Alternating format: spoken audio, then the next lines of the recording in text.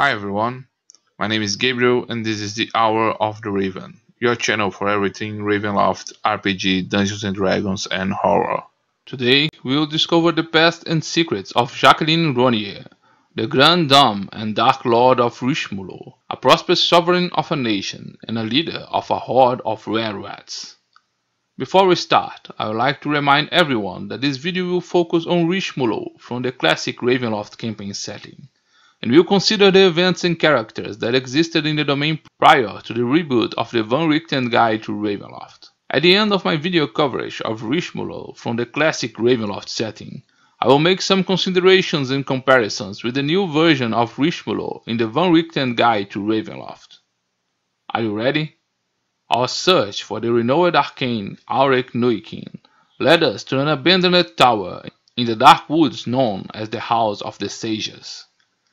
Our travels through this realm have taken us too long, and a new cycle of the full moon is approaching, and with it our transformation into werewolves. Our unexpected arrival makes the mage wary, but our plea for help to heal us from the affliction of lycanthropy seems to move Aurek Nuikin. He takes us to underground cells in the tower, where we are held during the night of the full moon. In the morning, when we wake up in our cells, Aurek comes to meet us and reveal to us why he has become an expert in lycanthropy and returned secretly to Richemulot after his banishment by the ruler Jacqueline Renier. In one of the cells, next to ours, we see the sad figure of Dmitri Nuikin, his brother. Their past adventures on Rishmulo had ended up infecting Dmitri with lycanthropy now Aurek Nuikin is actively seeking a cure for his condition. His return to Richemulot was for one sole purpose, to hunt down and destroy the wererat that had infected his brother, for without exterminating the source of this damned bloodline of wererats, there will be no hope for Dmitri. Aurek Nuikin promises to help us with our mission and search for a cure for our own cursed condition, if you assist him in his hunt. He believes that the lycanthrope who infected his brother was part of the highest nobility of this realm, one of the twin sisters, Louise or Jacqueline Renier. Over the next few days, we lock ourselves in the cells at night, and during the day we share information about the history and secrets surrounding the Renier Wererat clan and their deadly leader, Jacqueline Renier.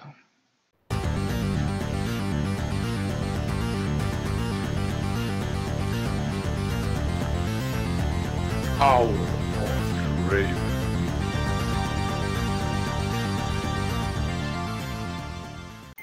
You have always been at my mercy. This is my domain and nothing happens I do not know about. Something you, Aurek Nuikin, should have remembered, since I warned you in the beginning. I expected better from you, and I gave you every chance to confide in me. Perhaps you should have told me what you were looking for when you asked my permission to search. Did you think I have no feelings? Did you think I would take advantage of your love helplessness? Did you think I have never loved? I too have loved and lost. Go home, scholar.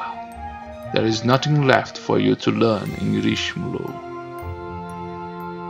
Jacqueline Renier is the Dark Lord of Richemulot, a cunning and beautiful woman and were-rat, who rules men and monsters through games of intrigue and cruelty. Jacqueline Renier's character adapts themes from the Gothic tradition to the Ravenloft setting, in conjunction with the theme of lycanthropy. Unlike the more famous werebeasts such as the werewolves, the wererats represent their animalistic side as skittish, stealthy, and cunning monsters, and symbolize corruption and decay. Jacqueline Renier embodies the figure of a blackmailer, manipulator, and seductress, from a decadent, evil, and corrupt aristocratic family, hiding her true monstrous nature behind the mask of a dame of high society. Jacqueline Renier is a natural-born were-rat, inheriting her monstrous condition from the Renier family since her birth. She is currently 70 years old, but she doesn't look her true age.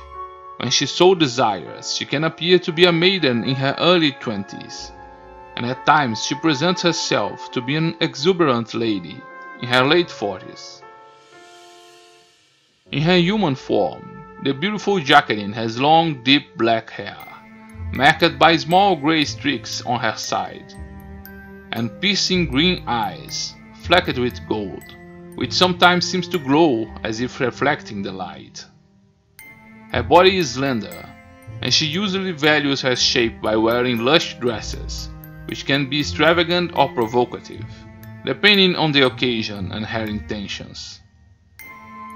In her rat form and hybrid form, her gnawing and monstrous aspect does not stand out, and she can easily manage to blend in with other rats that surround her. Jacqueline behaves with elegance, politeness, and subtlety. Only fools mistake her posture for weakness, for Jacqueline is a skilled manipulator and is generally several steps ahead of anyone she is dealing with. In the third edition stats, Jacqueline Renier, in addition to being a natural were-rat, also had 6 levels as an aristocrat and 5 levels as a rogue. Despite being a terrifying and dangerous monster in combat, Jacqueline rarely opts for the path of direct confrontation. She cherishes control above all and take pleasure in manipulating her enemies into impossible situations, where, with the support of her group of were-rats and rodents, she can easily destroy her rivals. If forced into combat, she attacks cruelly and lethally. Her bite can break through the hardest of objects, and she doesn't hesitate to fight dirty, taking advantage of hostage as human shields and spreading lycanthropy with her highly infectious claws and teeth. Jacqueline can climb and scale any type of surface and can command all rodents in Richemulot she can also transform into gaseous mist, a fetid green cloud, making the task of destroying her in combat almost impossible. The Grand Dame of Richemulot is eloquent, charismatic, and seductive, and her gestures can easily convey an aura of confidence, authority, or menace. However, Jacqueline has some weaknesses that she hides under deep layers of secrets.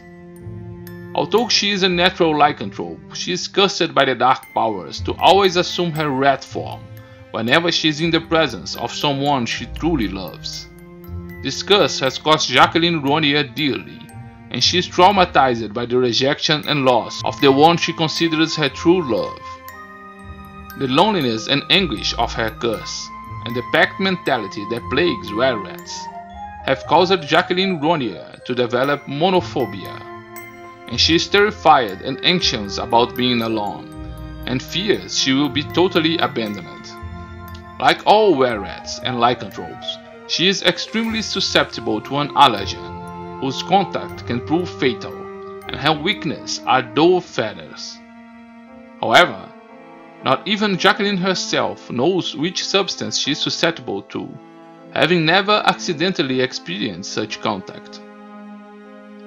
Jacqueline Renier is the supreme leader of Richemulot, having inherited the position of power after the murder of her grandfather Claude Renier, and maintains her position thanks to her cunning, manipulation, blackmail and threats, unveiling the secrets and plans of her rivals.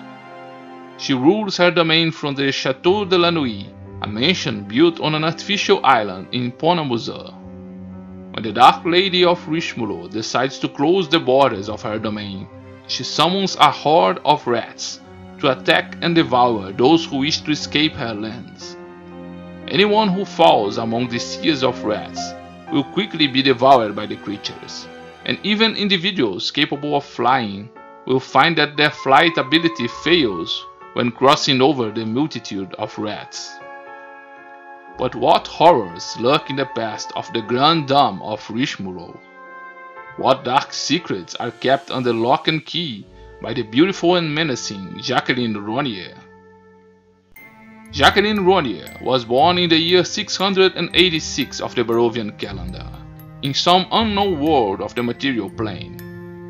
She was the granddaughter of Claude Renier, the patriarch and leader of a clan of were-rats, and the daughter of the human Simon Alder and the were-rat Marie Renier. Since her mother's womb, she was never truly alone, as she had a twin sister, Louise Renier. The Renier family had once been an important aristocratic family in their homeworld. However, they became cursed with lycanthropy, and many of its members became were-rats, and the family fell out of grace. The branch of the family that had become were-rats was pursued and hunted, until Claude Renier took over the family's leadership, and with an iron fist, harbored dreams of power and revenge. Cut off from the nobility and prestige of their ancestors, they learned to live between two worlds, hiding their monstrous nature with wit, cunning, and manipulation. During the period of this dangerous double life, Jacqueline and Louise expanded their childhood and were considered the favorite grandchildren of Claude Renier, who always encouraged them both to compete for his affection and favor. This period of relative tranquility would not last, however, as once again the Reniers' dark secrets were discovered, and they had to flee from the hunters. It was the young Louise Renier who found a magical portal that would allow the clan to flee that world, and fate took them to the land of the mists, to the city of Silbervas in Falkovnia. The ambitious and ruthless Claude Renier saw in these unknown lands a chance to fulfill his dreams of power, and quickly took control of a thieves guild, while spreading the lycanthropy infection throughout the city. Claude Renier was known as the Claude, and his presence posed a threat to the absolute ruler of those lands, the infamous Lord Vlad Drakov. His attempt to rise to power did not go unnoticed by the military who commanded the realm, and when one of the elite soldiers was beaten and infected with lycanthropy, Vlad Drakov led a campaign to purge the were-rats from Falkovnia. For three years, fierce battles raged in the underground and sewers of Silbervas, and this period was recorded in Falkovnian history as the years of the impaled rats. All of Claude's cunning, cruelty, and brilliance was not enough to stop the enemy soldiers' advances, and faced with imminent defeat and extermination, it was left to Claude Renier to lead his family escape once again, this time to the misty frontier. Historical records seem to approximate the dates of this desperate escape and the unveiling by the mist of the lands of Richemulot. Perhaps these lands are also part of the lost world from which the Renier emerged, or were created to house their true masters, the rats and were-rats who served the cursed Renier. Claude Renier and his were-rat clan emerged in the empty, uninhabited realm of Richemulot in 694 and took advantage of the structure of the abandoned cities to establish themselves as leaders of that region. The Reniers became aristocrats of that realm, which soon attracted immigrants and explorers from different lands. Although there is no established monarchy, Claude Renier consolidated his power and government in the region with a mixture of intrigue, manipulation, and fear, ruling both the human and were-rat population. While Richemulot grew to become a prosperous land, the core of the Renier family were teeming with intrigue, murder, and betrayal. The Renier family grew in number and power and became important members of Richemulot's society and aristocracy. Claude knew that his own kin could pose a threat to his power, and he was both a mentor and tormentor to them. The twin sisters, Jacqueline and Louise, were his favorite granddaughters, in whom he saw the greatest potential.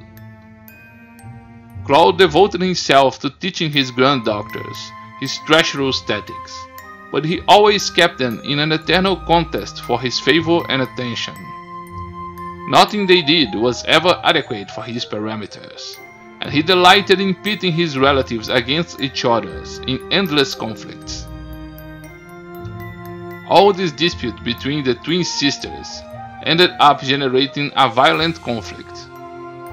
Jacqueline always seemed to do better than her sister, and Louise believed that Jacqueline was unfairly favored by her grandfather. Envy gave way to bitter hatred, and Louise Renier brutally attacked Jacqueline. They transformed into their monstrous hybrid forms as they fought, but Jacqueline proved once more to be superior to her sister, and Louise barely escaped with her life. The battle lacerated one of Louise's ears, and not even after receiving healing spells, her ear could be completely regenerated. Since then, Louise bears a distinction to her sister's features, having a deformed scar in her ear, a mark of defeat that she carefully, that she carefully hides with her long hair.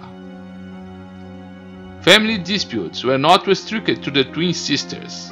In the year 710, Jacqueline's mother, Marie Audere, murdered her husband, the human Simon Audere, and once more adopted her single surname Renier, which also passed on to her children Antoinette, Jacqueline, Louise, and Raoul Renier.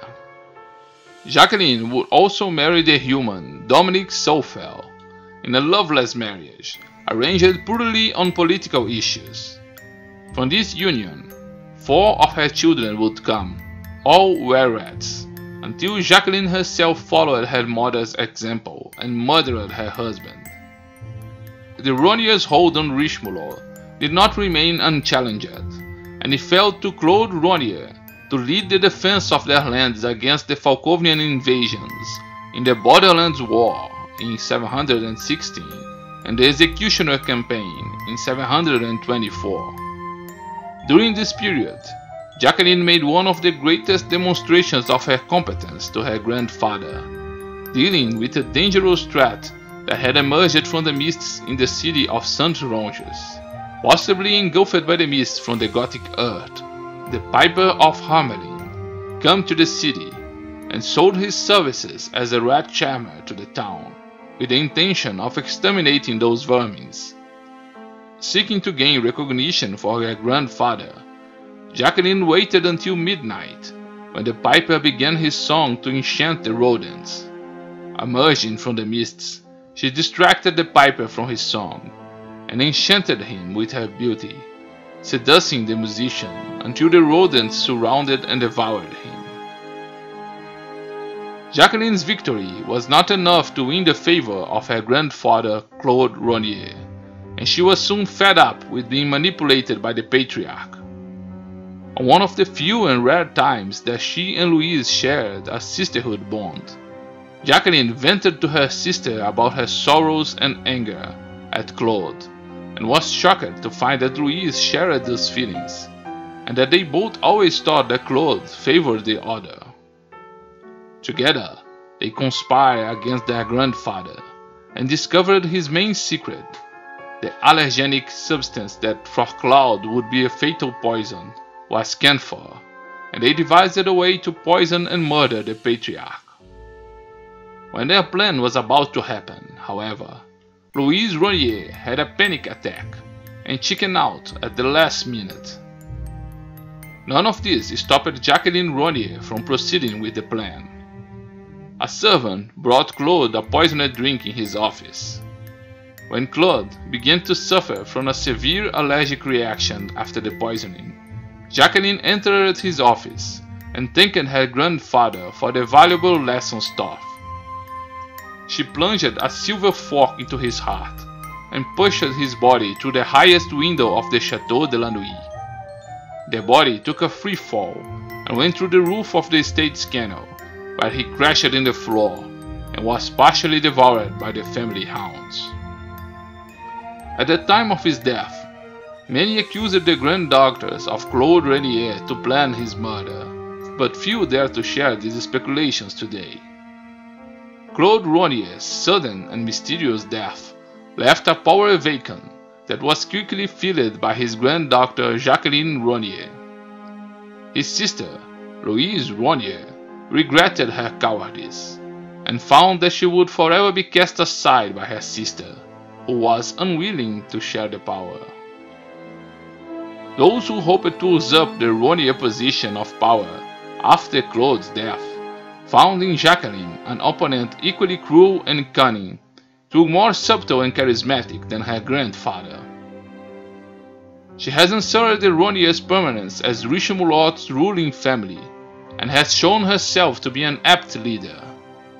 While Claude has secured his position through games of threat and fear, Jacqueline presents herself as a more thoughtful leader, and has gradually gained the respect and admiration of the population, who call her La Grande Dame.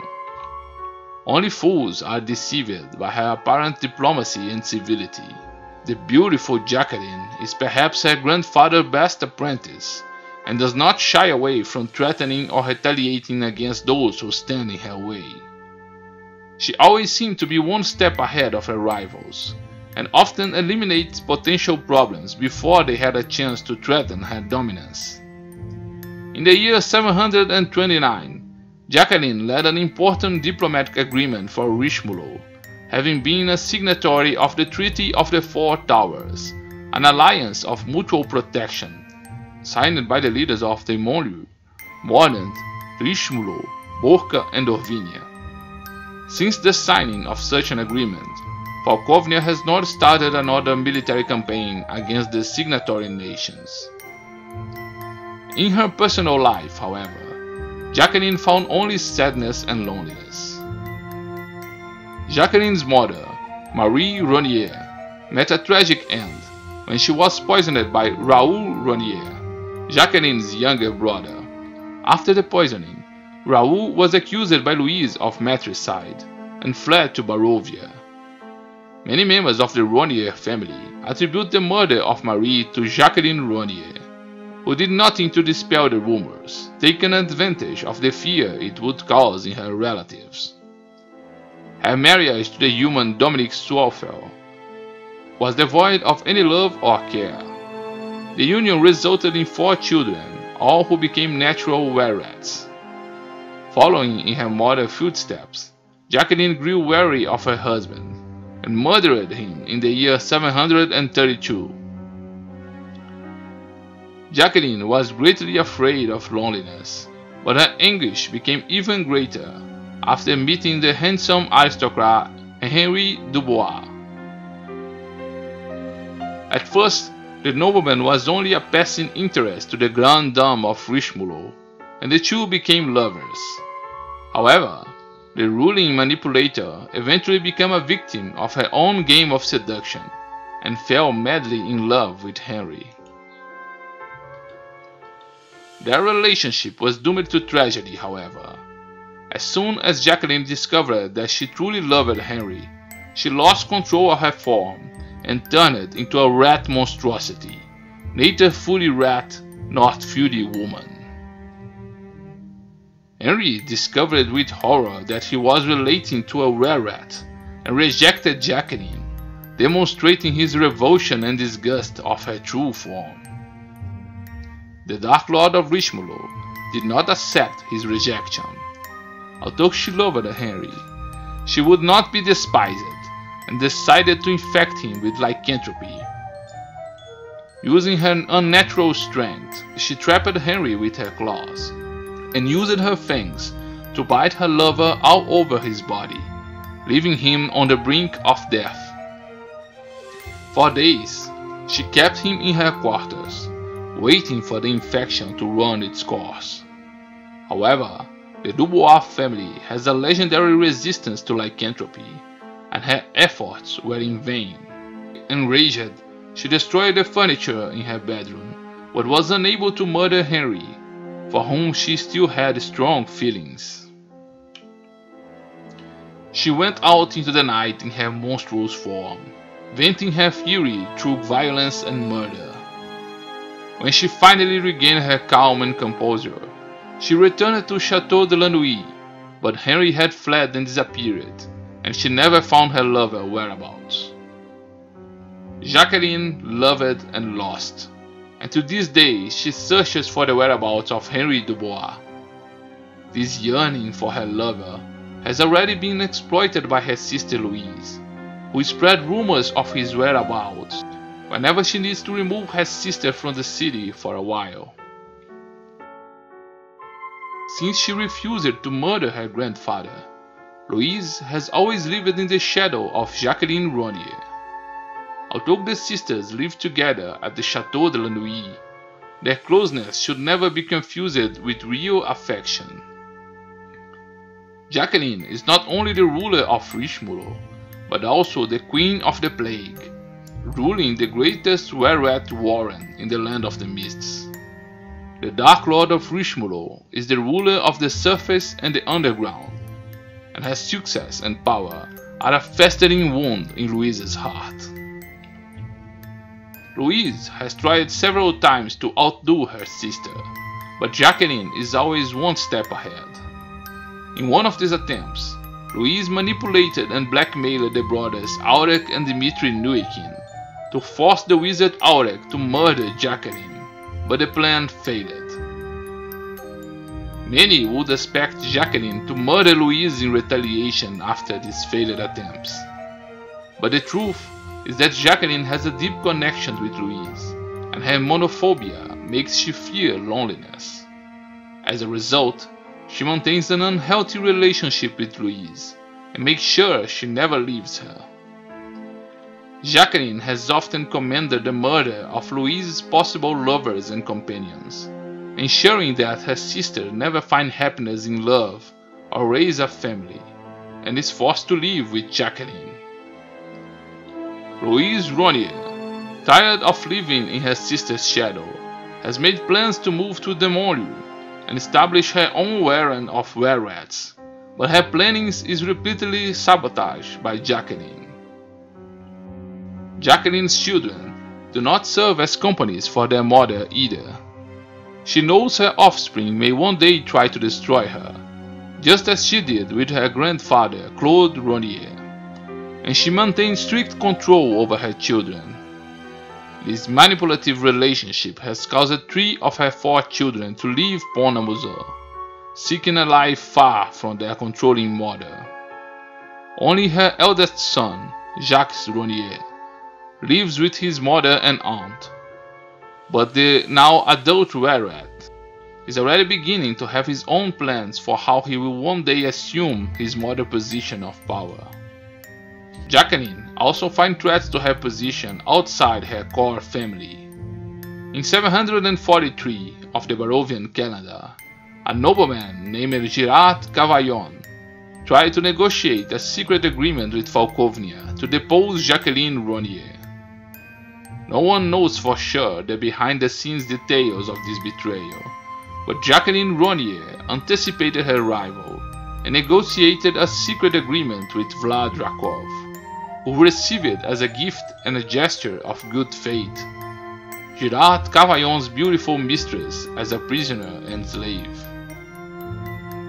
For the past five years, Jacqueline Renier has been dedicated to a plot that could change Richemulot forever. While she continued to act as the kingdom's leader and aristocrat, she has used her position as Queen of the Plague to command the priests of her were-rat warren to develop a dangerous plague. The becoming plague is in development by the filth breeders in the waste pits, and through their unholy magic, they are developing a disease that will allow common rats to transmit lycanthropy with their bites. So far, efforts have proven lethal to rats, or creating monstrous were-rats aberrations. Jacqueline's Renier grand plan is to use these common rats to infect the entire population of Richemulot in a short space of time, becoming the absolute queen of a domain of were-rats, worshipped as a goddess by her peers. If this plan works, Nothing prevents her from expanding her becoming plague to other domains of the mists, growing in power and influence. During the next full moon cycle, we spend the night in the cells, and the days talking with the brothers Aurek and Dmitri Nuikin. Aurek revealed to us everything he has learned about Jacqueline Renier and her clan of were rats, and asked for our help in destroying these monstrosities. Only with the death of the original lycanthrope, which began the lycanthropy infection, would there be any chance of a cure for his brother. And in our case, the situation will be the same. The wizard shows us his notes and records on lycanthropy, and say he has learned a lot from Dr. Rudolf von Richten's studies, and with the support of a cabal of Hala witches in Mordent. As we plan our next steps, we are plagued with foreboding thoughts as a lump forms on our throats. One of the sisters, Jacqueline or Louise, had set us on the path to finding Aurek, and we wonder if we were inadvertently manipulated to discover the location of one of her enemies. We seek the helpful wizard Aurek, unsure on how to approach the situation, when we hear the sound of a great horde of small animals.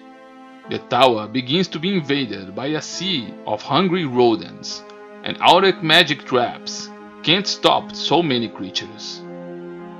Aurek's last look to us is one of frustration, hatred, and disappointment as the rats begin to cover his body and devour his flesh.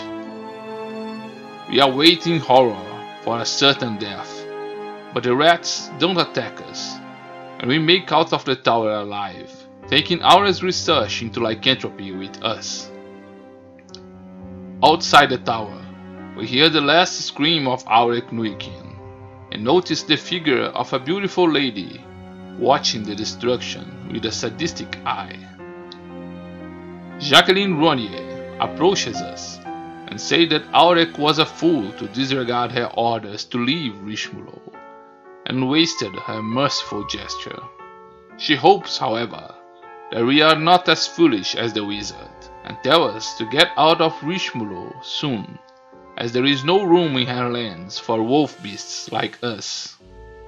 In horror and despair, we prepare to journey to Mordent, in search of Dr. Rudolf von Richten and the priestess of Hala.